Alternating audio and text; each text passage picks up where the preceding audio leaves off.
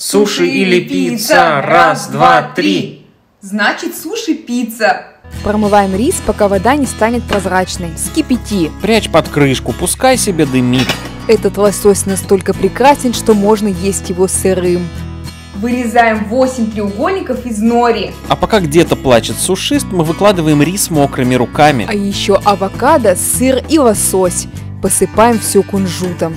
Отправляйся-ка ты в рот, суши-пицца.